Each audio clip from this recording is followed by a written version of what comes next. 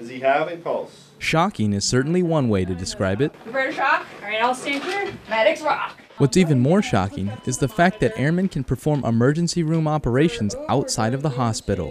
It's advanced cardiac life support.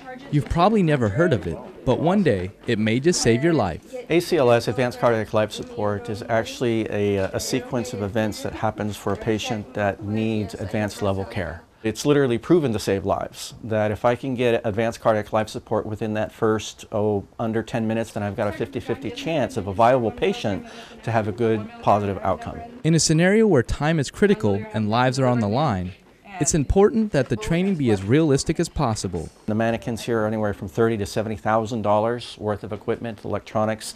They hook up to the computers. These mannequins blink now. Have Good CPR going on.